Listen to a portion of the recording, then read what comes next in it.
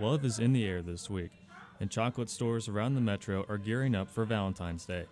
Chocolaterie Stam is one of the popular destinations for handcrafted chocolate, and they're already prepared for what will be their busiest week of the year. We prepare a lot of boxes for people because a lot of people just I mean, we, we, we, of course offer the option that people can choose and pick their own, but a lot of people don't know. So we put nice variety boxes together, a lot of those ahead of time.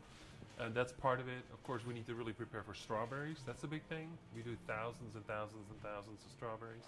So, um, so our staff actually works um, the 13th and the 14th from 2 a.m. to 9 a.m.